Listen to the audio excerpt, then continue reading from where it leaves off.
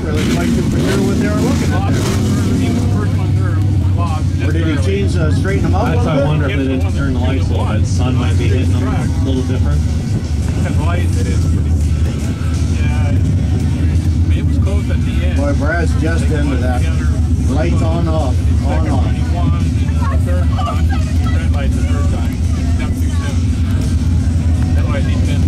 There we go. Got them both in here cut that like too much. Yeah.